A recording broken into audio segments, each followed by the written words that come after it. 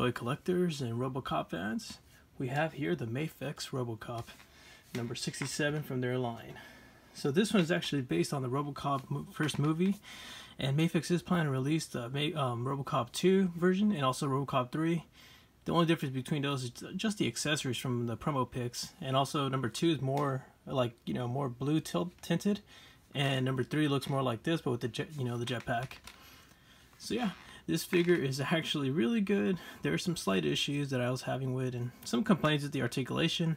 But you know, if you watch the movie, of course Robocop is very slow and limited, so don't expect a lot from this figure. But if you're like a big Robocop fan or just want to have Robocop vs Terminator, you know, type, type of toy photography, then this is the one I recommend. So yeah, let's get this review going. Robocop here stands almost six feet six inches high. Sorry, I don't know why I say feet. He does come with quite a few accessories. He also comes with a, a pamphlet on how to swap out the parts. Pretty basic. And he also does come with the Mafex stand, which is, you know, your basic Mafex stand. So yeah, this is Robocop. He is amazingly done. The paint is awesome. There's some really nice shading. You guys can see from right here the face. I don't know if you guys can see here the the lips is actually exact how it looks in the movies and it has a little face printing. It surprisingly has face printing in the bottom. It's just nice. Here's the side of it. You can see here the nice you know little areas are just really well done. Little tint there tint over there and then the back is all black like shadowy style. And then there's tint down here and a little tint down here. And you can see they put a lot of effort adding just just the little details that's nice. Like for example, in the movie, you know, this goes shh, shh, shh. But yeah, really amazing. Especially that they got the middle part really well done. And then they even got the little police stamp right here. I don't know if you guys can see. Police 001, as in the first Robocop. So yeah, for accessory wise, he comes with quite a few. He actually comes with two extra faces. Oops, sorry guys. This is, I guess, little mouth open face. And then this is kiss me. I'm just kidding. I'm trying to remember what face was this for in the movie. I think he's just speaking. So your speaking face. And then he has his closed mouth face.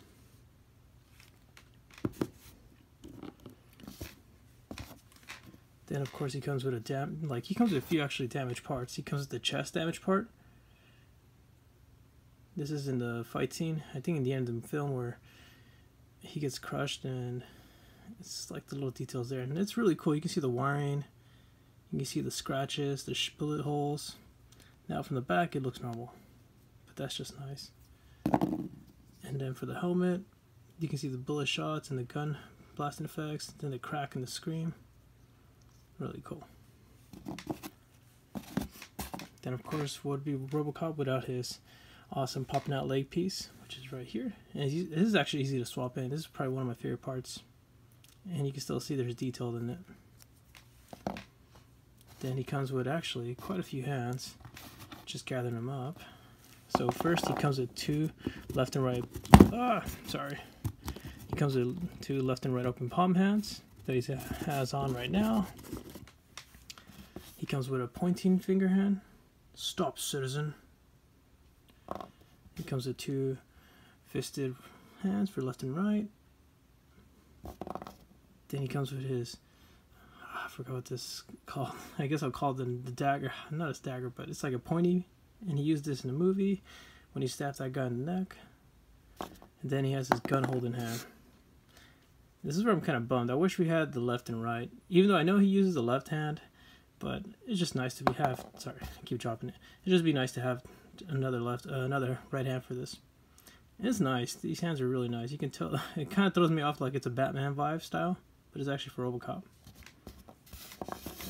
And then, last and least, his beautiful gun. So amazingly done, so detailed, and you see the little bottom clip here.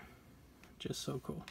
And then he also has an effect for the gun, which is a triangle shot effect style. And it's actually easy, really easy to put on. All you have to do is just hold the gun straight and make sure you have you see the gapping hole here, and all you gotta do is just press. I was having a little issue with this actually, but you just have to keep pressing and you gotta make sure the little aiming part matches this.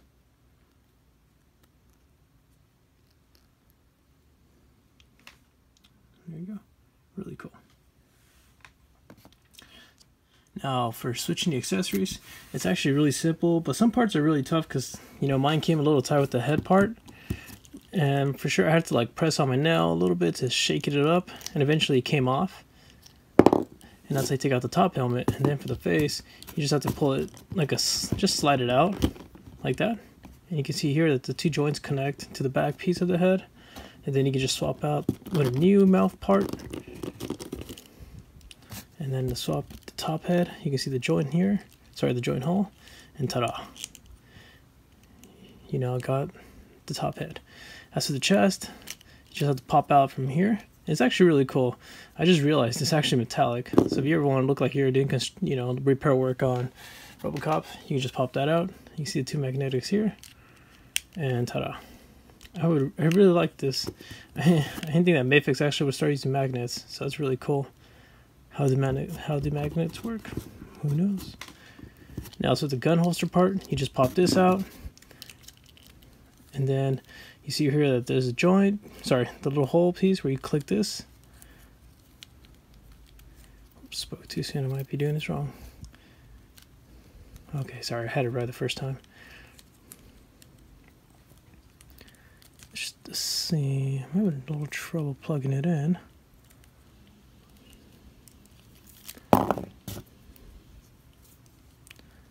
Oh, that's why.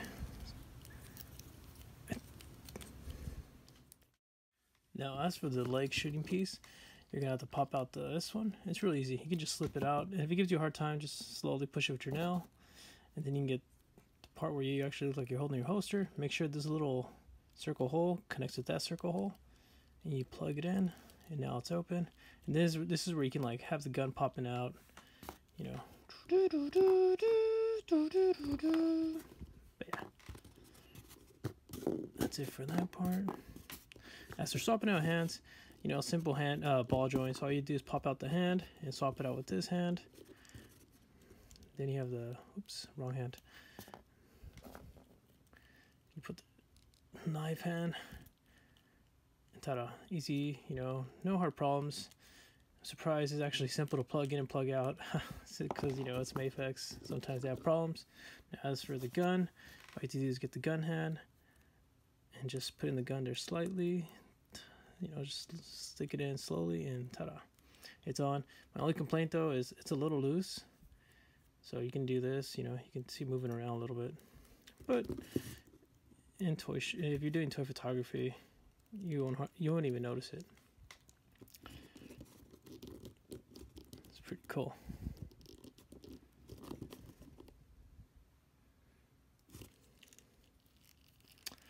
All right, so the that's it for swapping out accessories. Now let's get the articulation going. But of course, let's pop out this part and plug in the original part.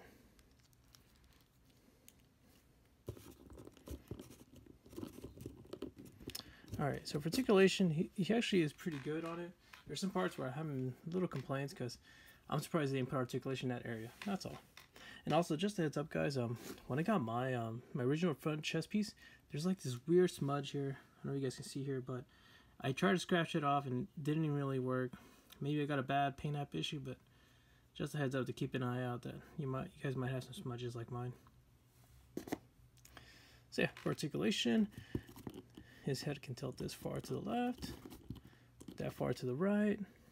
He can look that much down, that much up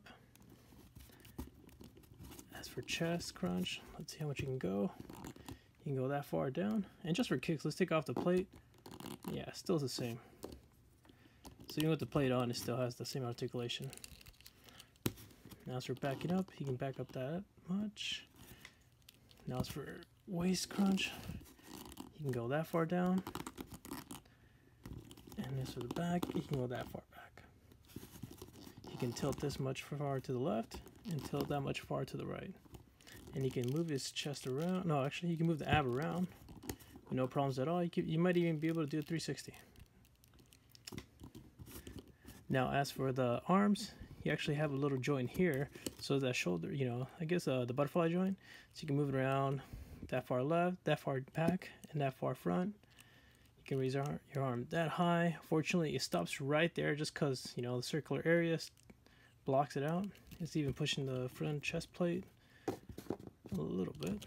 Actually, put the original one back on. So yeah, it just touches right there. You can raise your arm that high up. And oop, I guess we just popped the joint out. Uh-oh, it has begun. Curse of the Mafex. So you guys can see here, just moving around the joint itself, it popped out. I'm trying to see if this might be an easy fix, or maybe it just the joint came out of no problem. Oh yeah, yeah, Mafex, you're killing me here. Once, when I think you you perfected the QC issues, you come back hard. Alright guys, sorry about that. I had to try to see if I can fix this myself and it was easy just to plug the ball joint back onto the other joint and it tucked in with no problems. So yeah. Now, as for elbow joint, you have actually double jointed. Cool. And my only complaint is that, um, I don't know if you guys can hear, but, you know, I'm used to having arm swivel and I don't know why. I have the impression that this would have arm swivel, but it doesn't. So you can't like twist the arms around. Fortunately, you have to just go with the butterfly joint and just see how far you can bend it around. And what sucks is that not even the elbow has a, you know, swivel around, so you just gotta do as much as you can to bend. You might be able to play around with the plate a little just to give you more movement. But that's pretty much it, what I can do. Without the popping out, oh, yeah, popping out the front chest. Now, for hand swivel, he actually has a good rotation, no problems. You can go that far up, that far down, that far left, and that far right. Now, as for the splits, this is where he's kind of limited, but of course, it's Robocop. He's not made to do splits. He can bend that far and much down. He has double jointed knees. Oops. Wow, this thing is just coming apart. Uh, okay.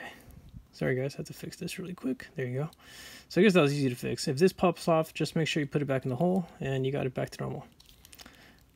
Now, as for, let's see, die swivel, you do have some, but you can't move it around. Just, you can tilt it this far back and this far front.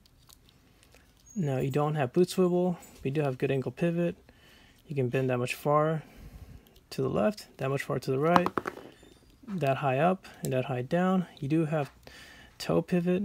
You can bend it this far up and that far down. So you can push it down. So yeah, that's it for articulation. This guy looks like he's starting to fall apart. Guys had to put him back with his normal stuff and his hand kept falling off. So yeah, for skill comparison, let's put him next to the Mezco Batman with Special Undies Edition. Put him next to the Black Panther Marvel Legends. And this is the newer one, not the Civil War one. This is based on the movie itself. Then next to the Figuarts Iron Man. you want to fight? And last and random, of course, a Star Wars Black Series. Ah, he actually looks like he's part of the movie. Yeah, this guy's giving me a little trouble to flatten his feet, so uh, I'll use my finger like that. So yeah, guys, this figure, you know, if you're a big Robocop fan, this is an awesome figure. And for those who, you know, just want weren't able to get the NECA one and want to hop into Mafex, this is your guy. So yeah, guys, if you have any questions or comments, please feel free to post below. And thanks so much for watching. Take care.